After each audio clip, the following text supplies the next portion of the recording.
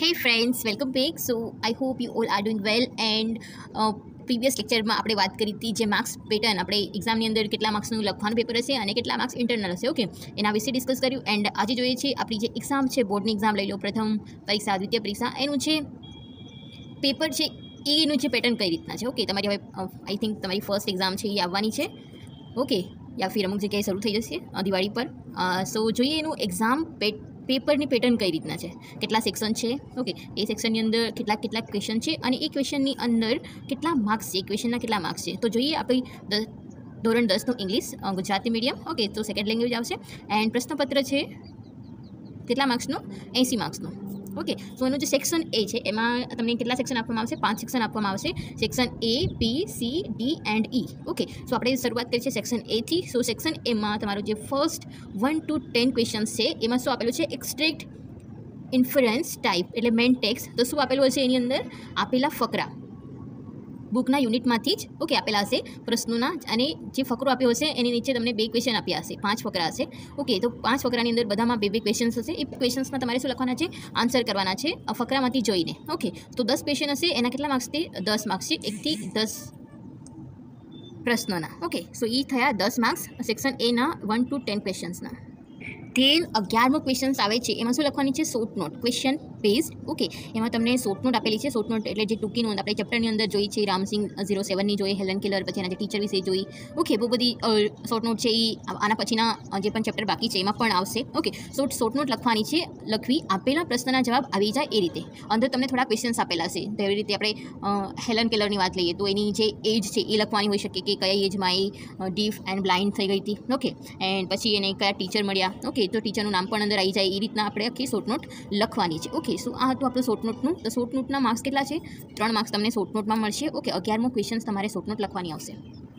Okay અને બુકમાંથી જશે. બુકમાં અલગ અલગ ચેપ્ટરમાં અલગ અલગ શોર્ટનોટ આપેલી છે. ઓકે તો એક્ઝામ માટે આપણે એમાંથી પ્રિપેર કરવાની અને બે શોર્ટનોટ આપેલી હશે બેમાંથી તમારે કોઈ પણ એક જ શોર્ટનોટ એક્ઝામની અંદર લખવાની છે. ઓકે સો જે તમને સારી આવડતી હોય, એ એક્ઝામ એક્ઝામમાં લખશો તો તમને ત્રણ માર્ક્સ પૂરા મળવાની શક્યતા છે. ઓકે સો બેમાંથી તમને બે આવડતી હોય તો સારું, પણ જે વધારે સારી આવડતી હોય તો બે લખવાની ટ્રાય ના કરતા. ઓકે કોઈ પણ એક જ લખવાની, પણ એ સારી લખવાની. ઓકે કે બે લખી દઈશ તો વધુ માર્ક્સ આવશે એવું નહીં રાખવાનું. ઓકે તો શું કરવાનું? બે બે આવડતી હોય તો જે સારી આવડતી હોય એ લખવાની. ઓકે પછી એના પછી જે બારથી પંદર ક્વેશ્ચન્સ આવે છે. ઓકે કેટલા માર્ક્સના ચાર માર્ક્સના એમાં શું આવશે તમને પૂછશે? ટ્રુ એન્ડ ફોલ્સ ખરા ખોટા લખવાના છે, ઓળખીને લખવું. ઓકે સિમ્પલ છે. ટ્રુ ફોલ્સ કયું વાક્ય ટ્રુ છે અને કયું વાક્ય ફોલ્સ છે. ઓકે કયું ક્વેશ્ચન આવશે? બારથી પંદર નંબરના જે પણ ક્વેશ્ચન છે તમારે શું આવશે? ટ્રુ ફોલ્સ કેટલા માર્ક્સના છે? ચાર માર્ક્સ બહુ ઇઝીલી તમે કવર કરી શકો. ઓકે સો જોઈએ નેક્સ્ટ સો આ ટ્રુ ફોલ્સ સાથે આપણો જે સેક્શન એ છે, એ કમ્પ્લીટ થાય છે. હવે જોઈએ આપણે સેક્શન બી ઓકે કે સેક્શન બીમાં શું વસ્તુ આવેલી છે, કેટલા માર્ક્સ સાથે? ઓકે સો સેક્શન બીની અંદર જે આપણો ક્વેશ્ચન્સ આવે છે સોળથી અઢાર ઓકે એમાં શું આપેલું છે? Reading the comprehension main text is poem okay so poem આપેલી હશે પોયમની અંદર પોયમની સાથે તમને પોયમનો કોઈ ફકરો આપેલો છે? અમુક અડધી પોયમ આપેલી હશે, વચ્ચેથી આપેલી હશે, ગમે રીતના ઓકે સો એ પોયમની સાથે તમને ત્રણ ક્વેશ્ચન્સ આપ્યા હશે એ ક્વેશ્ચન્સ છે સોળથી અઢારના ઓકે સોળથી અઢારમાં જે પણ ક્વેશ્ચન છે, એ પોયમમાંથી હશે. અને એ ક્વેશ્ચનના આન્સર તમારે પોયમમાંથી ફાઇન્ડ કરીને લખવાના છે. ઓકે કે જે પણ ક્વેશ્ચન્સ પૂછો છો ડિસ્ક્રાઇબ કરો, કઈ પોયમ છે, અમુક કોઈક મિનિંગ આપ્યો હશે, એનું સિમિલર મિનિંગ ફાઇન્ડ કરવાનું હશે. ઓકે સો પોયમ આપણે કવર કરવાની બાકી છે વિડીયોઝની અંદર. ઓકે સો આઈ હોપ આપણે એ પણ કવર કરી લઈશું નેક્સ્ટ ઓકે સો આ તમને પોયમની અંદરથી ક્વેશ્ચન્સ પૂછવામાં આવશે. એના જે માર્ક્સ છે ટોટલ ત્રણ પ્રશ્નો હશે, એના ત્રણ માર્ક્સ ઓકે સો નેક્સ્ટ જોઈએ. પછી છે કમ્પ્રિહેન્શન સપ્લિમેન્ટરી રીડર અહીંયા શું આપેલું છે? ફકરો આપેલો હોય, એમાંથી પ્રશ્નના જવાબ લખવા. ઓકે ફકરો, સરખો, વાંચવો, એના ઉપરથી આપણે જવાબ લખવાના છે. ટોટલ પાંચ માર્ક્સનું ફકરો આવશે. એમાં પાંચ ક્વેશ્ચન્સ પૂછેલા હશે. એના આપણે શું કરવાના છે? આન્સર આપવાના છે. ઓગણીસથી ત્રેવીસ નંબરના જે પણ પ્રશ્નો છે, એ આપણે ફકરામાંથી જોઈને લખવાના છે. એટલે પહેલાં ફકરો સરસ વાંચવાનું. મોસ્ટલી એ બારથી ફકરો આવવાની સંભાવના વધુ છે. ઓકે મોસ્ટલી બારથી આવે છે. કોઈ પણ ફકરો છે એ. પછીનું જે આવે છે તમારે ક્વેશ્ચન્સ નંબર ચોવીસથી સત્યાવીસમાં શું પૂછશે? કમ્પ્રિહેન્શન નોન વર્બલ નોન વર્બલમાં તમને શું આવી શકે? એક્ઝામમાં question number twenty four to twenty seven માટે ચાર ક્વેશ્ચનનું એક નોટિસ એડવર્ટાઇઝમેન્ટ વિઝિટિંગ કાર્ડ યા ફિર એવું કોઈ પણ ડેટા આપેલો હશે. ઓકે જેવી રીતે તમને કંઈક આપ્યું છે કે સ્ટુડન્ટના મેલ એન્ડ ફિમેલ ઓકે પછી એ સ્ટુડન્ટના માર્ક્સ આપ્યા છે સબ્જેક્ટ પ્રમાણે. તો તમારે એની પ્રમાણે ક્વેશ્ચન્સ પૂછ્યા હશે. ઓકે જે પણ તમને ડેટા આપ્યો છે. કોઈક નોટિસ હશે. યા ફિર કોઈક વિઝિટિંગ કાર્ડ છે કે ચલો જે, આ જે કાર્ડ છે એનું શોપનું નામ શું છે? કે સમથિંગ એ તમને જે ડેટા આપ્યો છે ને, એની અંદરથી જ ક્વેશ્ચન્સ આપેલા છે. એના સાચા જવાબ માટે પૂરા માર્ક્સ આપવામાં આવશે. ઓકે એન્ડ કઈ કઈ વિગત હોઈ શકે ડેટા કોઈ નોટિસ સમજીને આપેલા પ્રશ્નોના જવાબ લખવા. એને બરાબર જોવાનું કે ડેટા શેનો છે? કોઈક નોટિસ છે એડવર્ટાઇઝમેન્ટ છે સ્કૂલ વિશેનું છે? ઓકે એ ડેટાને કમ્પ્લીટલી જોવાનું. ઓકે પછી જ આપણે એના જે ક્વેશ્ચન્સ છે, એના આન્સર આપવાના. તો એના કેટલા માર્ક્સ છે? ચાર માર્ક્સ ઓકે ચાર માર્ક્સ છે. ચાર માર્ક્સમાં ચાર ક્વેશ્ચન્સ પૂછવામાં આવશે. ધેન નેક્સ્ટ જોઈએ. એના પછી તમને આપ્યું છે reading comprehension unseen dialogue or interview તમને પરીક્ષામાં question number eight twenty eight to thirty first okay, અઠ્યાવીસથી એકત્રીસમાં જે પ્રશ્ન આપેલા છે, એની પહેલાં તમને એક ઇન્ટરવ્યૂ કોઈક બે વ્યક્તિ સાથેનું ટોક ઓકે, કોઈક ડાયલોગ આપેલો હશે, એના જવાબ લખવાના છે, ઓકે. તમને કોઈક વિષયનું ઇન્ટરવ્યૂ આપ્યું હોય યા ફિર કોઈક એનું વાર્તાલાપ આપેલો હોય, ઓકે. સો એ વાર્તાલાપ, એ જે પણ ડાયલોગ છે, બે વ્યક્તિ વચ્ચે થયેલી વાતચીતના, ઓકે, એની ઉપરથી ક્વેશ્ચન્સ આપેલા છે. એ ક્વેશ્ચન્સના આપણે શું લખવાના છે? ક્વેશ્ચન્સના આન્સર કરવાના છે, ઓકે. ઇન્ટરવ્યૂ કે ડાયલોગ બુકની બહારનો હોય છે, ઓકે. સો તમારે એવું નહીં રાખવાનું કે આ બુકની બહારનું આવ્યું છે. તમને અહીંયાથી ક્લિયરલી કહેવામાં આવે છે કે અગર કોઈ બી વસ્તુ છે બુકની બહાર નહીં આવે છે. તો એ તમારે અંદરથી જ ફાઇન્ડ કરવાની, લખવાની છે. ઓકે સો સો આ ઇન્ટરવ્યૂ એન્ડ ડાયલોગની સાથે આપણો જે સેક્શન નંબર બી છે, એ કમ્પ્લીટ થાય છે. જેના ક્વેશ્ચન્સ છે twenty eight to thirty first okay અઠ્યાવીસથી એકત્રીસમાં જે પણ ક્વેશ્ચન્સ આવે, એના ઉપર આપણો જે સેક્શન બી છે, એ કમ્પ્લીટ થાય છે. તો જોઈએ સેક્શન સી નેક્સ્ટ ધેન તમારું સેક્શન સીની અંદર આવે છે complete the dialogue respond to the cues MCQ and function based okay પરીક્ષામાં થર્ટી ટુ થી થર્ટી ફોર ઓકે કેટલા થયા? બત્રીસ, તેત્રીસ, ચોત્રીસ. એટલે કેટલા માર્ક્સનું છે? ત્રણ માર્ક્સનું ઓકે તો ત્રણ ક્વેશ્ચન છે. આપેલા પ્રશ્નો અલગ અલગ રીતે આપી શકે છે. જેમ કે કોઈ જોડકા હોય એમસીક્યુ ફંક્શન હોય બેઝડ ઓન આઈડેન્ટિફિકેશન વાક્યોનો ભાવ ફાઇન્ડ કરવું, કંઈ પણ પૂછી શકે. ઓકે સો અલગ અલગ રીતના છે. આની અંદર એમસીક્યુ પણ તમને આપી શકે કોઈ જોડકા આપેલા હોય, એ બેને જોડીને તમારે કમ્પ્લીટ કરવાનું હોય. સો આની અંદર બે ત્રણ વસ્તુ છે. તો તમારે ધ્યાન રાખવાનું કે તમને શું એક્ઝામની અંદર પૂછવામાં આવે છે. એમસીક્યુ છે યા ફી જોડકા છે? ઓકે યા ફી કંઈક ફંક્શન કંઈક, ધારો કે ફાઇન્ડ વાક્ય ફાઇન્ડ કરવાનું છે. લાઈક એક્ઝામ્પલ લઈએ તો એક ખુશીવાળું વાક્ય છે. I am so happy to hear you are okay so એનું જે લઈ કે- કેવું વાક્ય થઈ ગયું? એમ હેપીનેસવાળું ઓકે પછી અગર તમને એક પ્રશ્ન વાક્ય આપ્યું છે, ઉદ્ગાર વાક્ય આપ્યું છે, તો એના પ્રમાણે તમારે વાક્ય કેવું છે? એ ફાઇન્ડ કરવાનું હોઈ શકે ઓકે સો કોઈ પણ પૂછી શકે છે અહીંયા, ત્રણ માર્ક્સની અંદર ત્રણ ક્વેશ્ચન્સ આવશે. સો કેરફુલી જોવાનું કે તમને શું એક્ઝામની અંદર આપેલું છે ઓકે ધેન સેકન્ડ પછીના ક્વેશ્ચન છે પાંત્રીસથી સાડત્રીસમાં identify the function match the column okay આમાં શું લખવાનું છે? તમારે પરીક્ષામાં question number thirty five to question number thirty સેવનમાં ત્રણ ક્વેશ્ચન પૂછશે. એક વાક્ય આપેલું હશે. આપેલા વાક્યના આધારે જવાબ આપો કે પ્રશ્ન પૂછો. કોર્સમાં આપેલા વાક્યના આધારે લખવાનું રહેશે. ઓકે કોઈ તમને એક ક્વેશ્ચન્સ આપ્યો છે? ઓકે એ એક સેન્ટેન્સ આપ્યું છે સોરી ઓકે એક સેન્ટેન્સ આપ્યું છે, તો એ સેન્ટેન્સને આપણે વાંચવાનું. સો એ સેન્ટેન્સ વાંચે તો આપણને ખબર પડશે કે કોઈને પ્રશ્ન પૂછેલો યા ફિર કોઈના પ્રશ્નનો જવાબ આપેલો છે. તો કાઉન્સમાં એને લખ્યું હશે. આપણે એક્ઝામ્પલ જોઈએ અહીંયા. સો એનું એક્ઝામ્પલ છે? પાંત્રીસથી જે સાડત્રીસમાં તમને પૂછશે એ કઈ રીતે આવી શકે? તો જોઈએ. સો અહીંયા ડાયલોગ કેવો છે? આર્યા પૂછે છે. Arya says when do you do your homework okay Arya શું પૂછે છે? એ ક્વેશ્ચન માર્ક્સ છે. તો એણે શું પૂછ્યું? When do you do your homework તું તારું હોમવર્ક એટલે જે અમ, ઘરકામ લેસન છે એ ક્યારે કરીશ? ઓકે જે ગૃહ કાર્ય આપણને લેસન આપે છે એ ક્યારે કરીશ? તો રૂપેશનો જવાબ શું હોય છે? અહીંયા કાઉન્સમાં એણે શું લખ્યું છે કે આપણે કેવો આન્સર આપવાનો છે? સ્પેસિફાઈંગ ધ ટાઈમ જે આન્સર અહીંયા ઓપ્શનની અંદર ટાઈમ સ્પેસિફિક કરતો હોય કે કેટલા વાગ્યા કયા ટાઈમે મોર્નિંગ ઇવનિંગ આફ્ટરનૂન ઓકે કેટલા વાગે? લાઈક ટાઈમ કીધું છે, તો ટાઈમનું સ્પેસિફિક ટાઈમનો જે આન્સર એમાં આવવો જોઈએ. Okay six o'clock seven o'clock eight o'clock okay so અહીંયા ઓપ્શન આપ્યા છે, એમાંથી જોઈએ આપણે. તો એમાં સ્પેસિફાઈ જે ટાઈમ થતો હોય, એ ઓપ્શન આપણે સિલેક્ટ કરવાનો. I like to do homework મને હોમવર્ક કરવું ગમે છે, તો આમાં કોઈ ટાઈમ મેન્શન કર્યું? તો નહીં. Either my mother or my father does my homework મારા મમ્મી યા ફિર મારા પપ્પા મને હોમવર્ક કરી આપે. સો આમાં કોઈ ટાઈમ મેન્શન નથી. I do my homework at six o'clock in the morning અહીંયા શું થયું? Specific time I do my homework એને શું પૂછ્યું હતું કે તું તારું હોમવર્ક ક્યારે કરે? તો એને રૂપેશે જવાબ આપ્યો six o'clock in the morning તો આ સ્પેસિફિક ટાઈમ થયો? તો આપણો જે જવાબ આવશે એ આ રીતનો છે. તો તમને કાઉન્સમાં જે પણ કંઈ આપ્યું છે specific time specific place okay specific result એ પ્રમાણે તમારે ઓપ્શન છે એ સિલેક્ટ કરવાનો છે. ઓકે કે એ વસ્તુ ટાઈમ આપ્યો તો ટાઈમ મેન્શન થવો જોઈએ પ્લેસ આપ્યો તો પ્લેસ કોઈકનું નામ હોવું જોઈએ, કે કયા પ્લેસ અને પ્લેસની સાથે સાથે ટાઈમ આપ્યો તો પ્લેસને ટાઈમ બે વસ્તુ મેચ થવી જોઈએ. ઓકે સો આ વસ્તુ ધ્યાન રાખવાની કે તમને કૌંસમાં શું વસ્તુ આપેલું છે. Then fourth I don't like do my homework તો સી ઓલરેડી ઓપ્શન સાચું છે. ઓકે સો આ રીતના તમને આપ્યું છે. આ એક્ઝામ્પલ હતું, તો તમે આ રીતના જે પણ તમારી સાથે પ્રિપરેશન બુક્સ છે એ કરી શકો. ઓકે સો નેક્સ્ટ જોઈએ ક્વેશ્ચન્સ નેક્સ્ટ ક્વેશ્ચન છે complete the sentence function based okay પરીક્ષામાં question number thirty eight to ફોર્ટીમાં ત્રણ પ્રશ્ન પૂછશે, જેમાં અડધું વાક્ય આપેલું છે, જ્યારે બાકીનું કોર્સમાં આપેલા સૂચના પ્રમાણે પૂર્ણ કરવાનું રહેશે. ઓકે એને આગળના જે ક્વેશ્ચનની અંદર શું હતું કે કોઈક એક ક્વેશ્ચન એક વાક્ય આપેલું છે, એને કાઉન્સમાં આપેલા પ્રમાણે આપણે બીજું વાક્ય કમ્પ્લીટ કરવાનું છે. અને આની અંદર શું આપેલું છે કે અડધું વાક્ય આપેલું છે. એડ સમ સુગર પછી કાઉન્સમાં શું કર્યું? Describe process add some sugar પછીનું વાક્ય શું બની શકે? જેમાં આપણે પ્રોસેસ આવી જાય. So add some sugar and stir it well with a spoon મતલબ સરખી રીતે હલાવવું થોડી સુગર એટલે ખાંડ એડ કરો, પછી એને સ્ટેર એટલે સરખી રીતે હલાવવું ધીસ ઇઝ પ્રોસેસ હલાવવી ઓકે સો કૌંસમાં પેલું આમાં પણ એવું જ છે કે કૌંસમાં પેલું વાક્ય સરખી રીતે અહીંયા આવી જાય એ રીતે આપણે તમારે વાક્ય કમ્પ્લીટ કરવાનું છે ઓકે સો આમાં થોડીક પ્રેક્ટિસ માંગશે, તો તમે પ્રેક્ટિસ કરી શકો. ત્રણ ક્વેશ્ચન્સ આવા હશે, જેના ત્રણ માર્ક્સ આપશે ઓકે તો ત્રણ ક્વેશ્ચન ત્રણ માર્ક્સનું ક્વેશ્ચન છે. ત્રણ પ્રશ્નો પૂછશે ત્રણના એક એક માર્ક્સ ઓકે સો નેક્સ્ટ જોઈએ.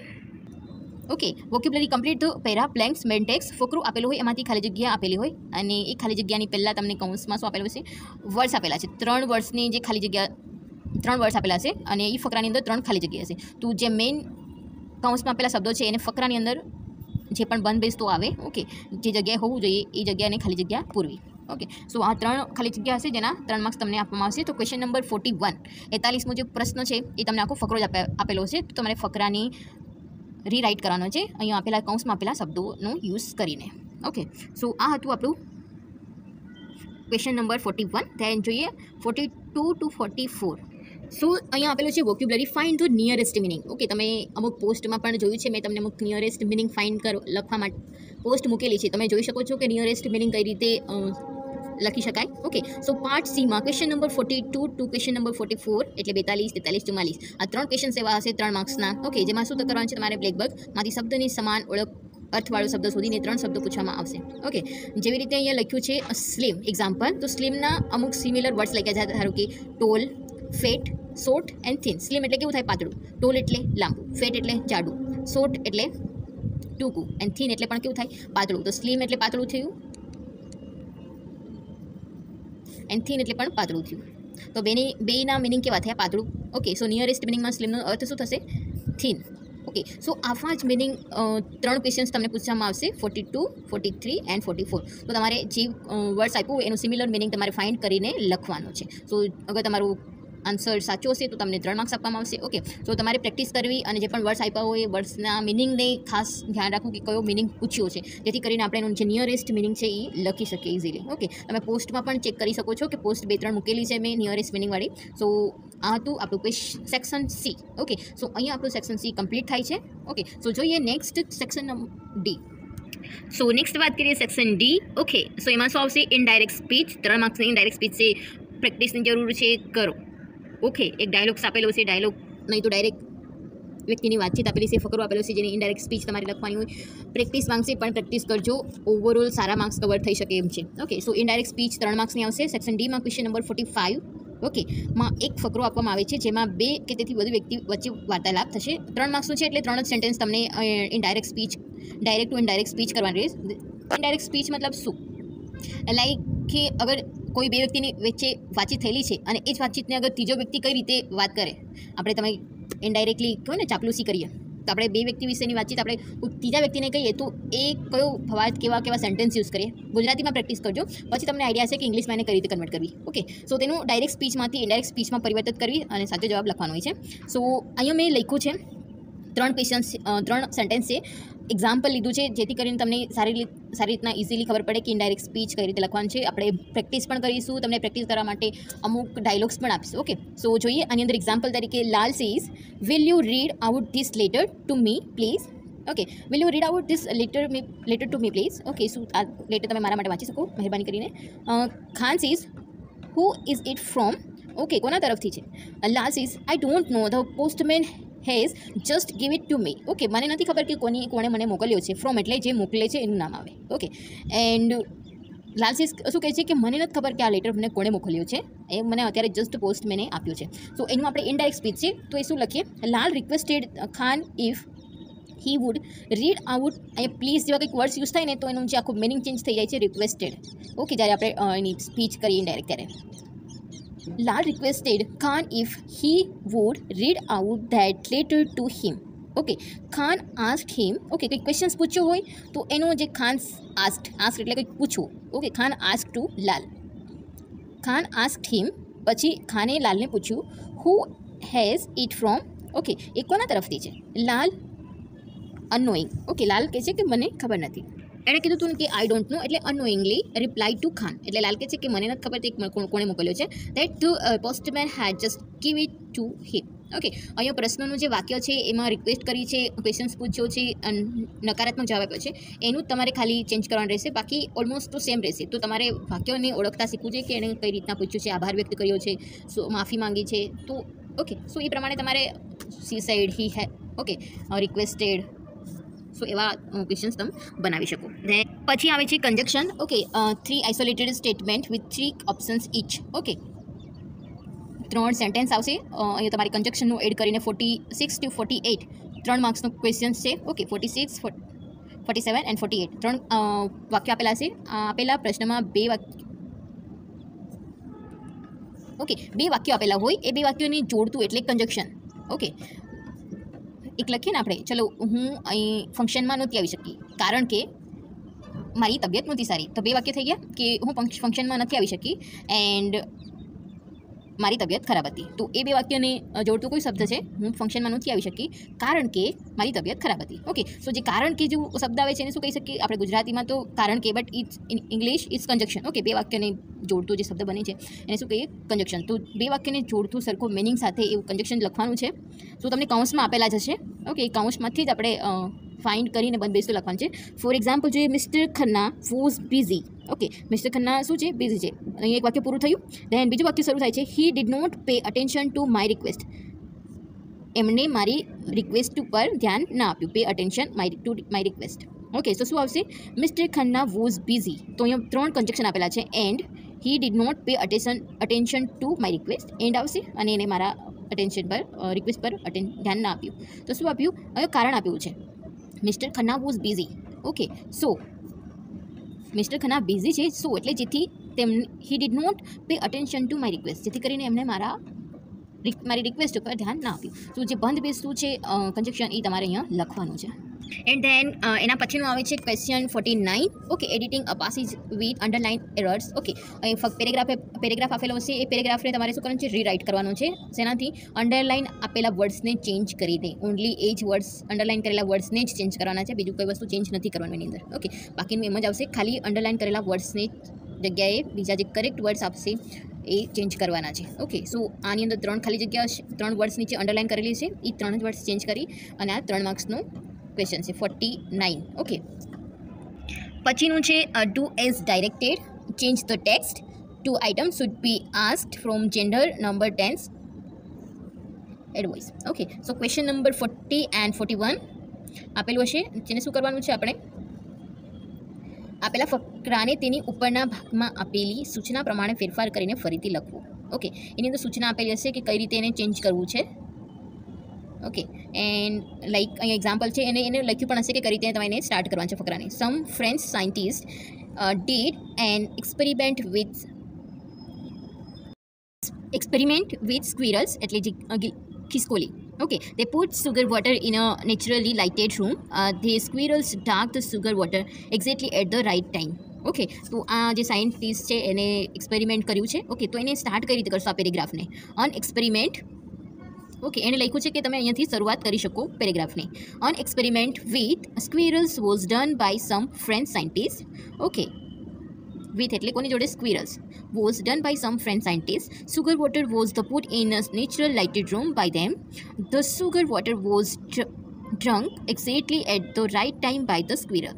Okay so આ તું એણે યુઝ કરીને લખ્યું કે અ, ક્યાંથી શરૂઆત કર્યું છે અને લખ્યું અહીંયાથી ઓન એક્સપેરિમેન્ટથી તમે શરૂઆત કરી શકો ઓકે વિથ સ્ક્વિરલ પછી વિથ બાય સાયન્ટિસ્ટ ઓકે કોના દ્વારા એક્સપેરિમેન્ટ કરવાનું છે બાય સાયન્ટિસ્ટ તો તમે પ્રેક્ટિસ કરશો તો તમને સારી રીતના આ છે એ question number fifty and fifty one okay બેના માર્ક્સ તમને છે માર્ક્સ છે ફોર ઓકે તો એક પચાસ નંબરના ક્વેશ્ચન્સના માર્ક્સ પણ ટુ થશે એન્ડ ફિફ્ટી વનના પણ ટુ પેરેગ્રાફ એક પણ આપેલો છે, એને આપણે રીરાઇટ કરી અને કોના દ્વારા થાય છે એ કરી સારી રીતે લખવાનો છે. ધેન છે સિલેક્ટ ધ ક્વેશ્ચન્સ એમસીક્યુ આપેલા છે એમસીક્યુની અંદર શું છે સેક્શન ડીમાં question number fifty ટુથી question number fifty four it's three marks okay આ પ્રશ્નના વાક્યમાં અમુક શબ્દની નીચે અંડરલાઇન આપવામાં આવે છે આ અંડરલાઇન શબ્દોને દૂર કરતાં કયું પ્રશ્નાર્થ વાક્ય બને છે તે પસંદ કરવાનું હોય છે ઓકે સો અહીંયા એક એક્ઝામ્પલ આપ્યું છે કે તમને કઈ રીતના ક્વેશ્ચન્સ પૂછી શકે સો અહીંયા આપેલું છે Rahman can speak any language fluently okay Rahman can બરાબર? ધ્યાનથી સેન્ટેન્સ વાંચીને કઈ વર્ડ સાથે અંડરલાઇન કરેલું છે, કયા વર્ડ્સ નીચે અંડરલાઇન કરેલું છે, ખાસ ધ્યાન રાખવું. Rahman can speak any language fluently Rahman કોઈ કેન, એટલે રહેમાન શું કરી શકે છે? સ્પીક એટલે બોલી શકે છે એની બોલી શકે છે એની લેંગ્વેજ કોઈ પણ ભાષા એકદમ ફ્લુઅન્ટલી એટલે એકદમ સરળતાથી, એકદમ સ્પીડલી તો અહીંયા શું આવશે? સો, અહીંયા ફ્લુઅન્ટલી લખ્યું છે, તો ફ્લુઅન્ટલી તો આપણે અગર એનો ક્વેશ્ચન માર્ક્સ બનાવવું છે ક્વેશ્ચન માર્ક બનાવવું છે, તો આપણે શું પૂછી શકીએ? કે રહેમાન કેવી રીતે કોઈ પણ લેંગ્વેજ બોલી શકે છે. ફ્લુએન્ટલી એટલે કેવી રીતે થયું? અગર આનો આપણે જવાબમાં લખીએ કે રહેમાન કોઈ પણ ભાષા કઈ રીતે બોલે છે, તો જવાબ આપીએ કે રહેમાન કોઈ પણ ભાષા એકદમ ફ્લુઅન્ટલી બોલી શકે છે. ઓકે સો ફ્લુઅન્ટલીની જગ્યાએ આપણે કયું કરી શકીએ? હાઉ હાવ એટલે કેવી રીતે? How can Rahman speak any language આનું ક્વેશ્ચન માર્ક બની ગયું? આન્સર આપેલો છે. ફ્લુએન્ટલીનો યુઝ કરીને આપણે, આનો મેં તમને વીડિયો પણ મૂકેલો છે ડબલ્યુ એચ ક્વેશ્ચન્સ ઓકે કે કયો પ્રશ્ન છે, પ્રશ્ન વાક્ય આપણે યુઝ કરી શકીએ. સો જોઈ લેવું કે બધા ડબલ્યુ એચના મિનિંગ શું થાય છે? What where how which okay so તમને ત્યાંથી ખ્યાલ આવી જશે. સો, આ હતું આપણું સેક્શન ડી તો સેક્શન ડી અહીંયા કમ્પ્લીટ થાય છે. Then so continue with section number E okay so જોઈએ સેક્શન ઈ ઓકે એમાં તમને શું પૂછવામાં છે સ્ટાર્ટિંગમાં પેરેગ્રાફ રાઇટિંગ ઓકે સેક્શન ઈમાં ક્વેશ્ચન નંબર ફિફ્ટી ફાઇવમાં છ ગુણ માટે નિબંધ લખવાનો પૂછવામાં આવે છે. આ માટે આપેલા બે નિબંધોમાંથી મુદ્દાનો ઉપયોગ કરીને કોઈ પણ એક લખવાનો હોય છે. ઓકે તમને અગર મેં લાસ્ટ પહેલાં જ કીધું એ પ્રમાણે શોર્ટ નોટમાં અગર બે નિબંધ આવડતા હોય તો બે નિબંધ લખવાની જરૂર નથી જેથી તમારો ટાઈમ કન્ઝ્યુમ થશે. ઓકે કોઈ પણ એક જ નિબંધ છે અને એક જ નિબંધના તમને માર્ક્સ મળે છે જે તમે પહેલાં લખ્યું હોય. ઓકે એક્ઝામની અંદર તમે અગર બે નિબંધ લખશો તો એવું નહીં કે બેના માર્ક્સ વધુ મળશે. સો એવી માઇન્ડસેટ નહીં રાખતા. અને કોઈ પણ એક જ બે આપેલા હશે, બે યા ત્રણ આપેલા હોય, તો એમાંથી કોઈ પણ એક જ નિબંધ લખવાનો અને એ પણ એના જે પણ મુદ્દા આપેલા છે, એ મુદ્દાનો ઉપયોગ કરીને. ઓકે, ઓરમાં આપેલા છે એટલે કોઈ પણ એક જ લખવાનો છે નિબંધ. સો, નિબંધની અંદર આપણે એક રક્ષાબંધન, એક ઇન્ડિપેન્ડન્સ ડે કવર કર્યું છે એન્ડ નેક્સ્ટ લેક્ચર્સમાં આપણે જોઈશું બહુ બધા નિબંધ એની અંદર પણ. ઓકે, અને તમે જાતે પણ પ્રેક્ટિસ કરી શકો છો નિબંધની. ઓકે, સો અહીંયા મેં એક્ઝામ્પલ તરીકે લખ્યું છે my best friend or the best village of Gujarat. Okay, so ઓરમાંથી અગર તમને કોઈ પણ એક આવડે છે, તો એ લખવાનો. બે નહીં લખવાના. ખાસ ધ્યાન રાખજો કે માઇન્ડસેટ ન રાખતા કે બે લખશું તો બેના માર્ક્સ મળશે. નહીં, કોઈ પણ એકના જ માર્ક્સ મળશે અને એક માર્ક્સ જે પણ છમાંથી જ મળશે. ઓકે ઓકે પછીનું છે email writing in informal and format given report writing okay અહીંયા તમને ઈમેલ લખવાનું આપી શકે યા ફી રિપોર્ટ રાઇટિંગ બે ઓપ્શનમાં હશે તો તમને જે સારું આવડે રિપોર્ટ લખતા સારું આવડે, તો રિપોર્ટ એન્ડ સારી તમને સારું ઈમેલ લખતા આવડે, તો ઈમેલ ઈમેલનું ફોર્મેટ ઓલરેડી તમને લેક્ચર્સ એનો વીડિયો આપેલો છે, તો પણ હું ડિસ્ક્રિપ્શન બોક્સમાં સ્પેશિયલી ઈમેલનું ફોર્મેટનો વીડિયો તમને આપી દઈશ. પ્લીઝ એકવાર ચેક કરી લેજો. Okay and okay and report પણ તમને બેની પ્રિપેરેશન કરવાની જે પણ સારું પૂછાય, જે પણ સારું આવડે એક્ઝામની અંદર, એ તમે એવું નહીં કે ચલો ઈમેલના ઓરમાં આવશે તો ખાલી ઈમેલ જ પ્રિપેર કરી જવું. નહીં બે તમારે પ્રિપેર કરીને જવું છે. ઓકે અને જે સારું એક્ઝામની અંદર આવડે, પૂછ્યું જે પ્રમાણે હોય ક્વેશ્ચન્સ એ પ્રમાણે જ તમારે ઈમેલ એનું નામ છે એડ્રેસ છે, લખવાના. ઓકે તમે જે તૈયાર કરીને ગયા હોય એ રીતના ફોર્મેટ ખાસ ધ્યાન રાખવાનું. ટુમાં શું આવશે ફ્રોમમાં શું આવશે, એના માર્ક્સ હોય છે. ઓકે સો એ તમારે ખાસ ધ્યાન રાખ- રાખીને ઈમેલ લખવાનું રહેશે. ઓકે સો અહીંયા મેં આપ્યું છે એક એક્ઝામ્પલ કઈ રીતે તમને આપી શકે કે રિપોર્ટ એન્ડ ઈમેલ સો અહીંયા છે, એક ઈમેલનું એક્ઝામ્પલ લીધું છે એન્ડ એક રિપોર્ટનું એક્ઝામ્પલ લીધું છે. ઈમેલની અંદર મુદ્દા નહીં આવે રિપોર્ટમાં જ ખાલી મુદ્દા આવશે. Srishti Kanani and email to her friend Ketki Agrawal. Okay Srishti any friend કોને મેલ લખે છે કેતકીને telling her about her future plan after passing her SSC exam એની ફ્રેન્ડને એવું મેલ કરે છે કે એક્ઝામ પછી જે એસએસસીની દસની બોર્ડની એક્ઝામ પાસ કર્યા પછી એનું છે શું ફ્યુચર ગોલ્સ છે, આગળ કયું સ્ટડી કરવું, કઈ ફિલ્ડમાં જવું, એનો એ ઈમેલ કરે છે. દેન રિપોર્ટ રાઇટિંગ કઈ રીતે આવી શકે? રાઇટ રિપોર્ટ ઓન સ્વચ્છતા અભિયાન.